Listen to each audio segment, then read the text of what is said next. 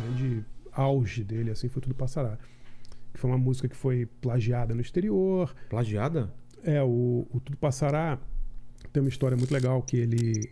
O, ne, o Nelson vai se apresentar na Argentina em 67. E ele canta uma música e ele mostra Tudo Passará para um, pra um maestro argentino, Leonardo Schultz. E o Leonardo Schultz adorou a música. Ele pega a música e meio que se apropria da música e faz uma versão em inglês com um, com o Matt Monroe, aquele cantor famoso, chama All of a Sudden. Você pegar é um, é um plágio descarado, Nossa. uma versão de Tudo Passará. Só que o Nelson já tinha registrado Tudo Passará em nome dele, então as datas mostram que realmente a composição é, do anterior. Nelson. É.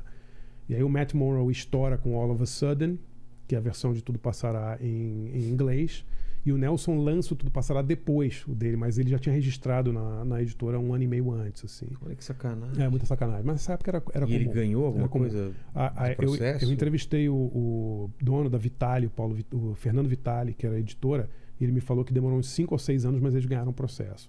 Depois até o Gypsy Kings, nos anos 90, copiou essa música também, eles processaram o Gypsy Kings. Essa música é muito sucesso, cara. E ele gravou em... Ele gravou em espanhol, gravou em inglês, gravou em italiano. Essa música tem, gravou em francês. Ele...